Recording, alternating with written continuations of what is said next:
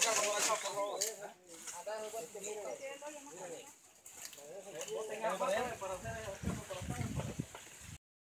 de la sequía del municipio de Quimistán, Santa Bárbara, eh, del sector de Naco también, pero mejor solo dejémoslo, para no confundirnos en tantos lugares, solo dejémoslo San José de la Sierra